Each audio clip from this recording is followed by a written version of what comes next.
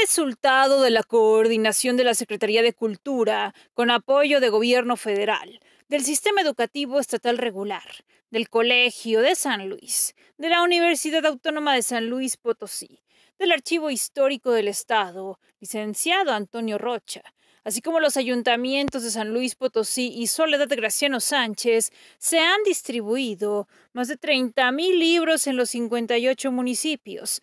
tanto a bibliotecas públicas municipales como a escuelas, recintos culturales y asociaciones civiles. Al respecto, la titular de la Secretaría de Cultura, Elizabeth Torres Méndez, señaló que se trabaja para que población en general, sobre todo la niñez, adolescencia y juventud, tengan acceso a obras que enriquezcan el espíritu, tengan un sentido crítico y aporten al desarrollo de un Estado más justo y solidario,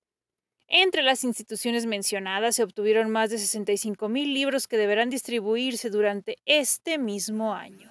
Con imagen Herrera, Paulina Rodríguez, Noticieros Canal 7.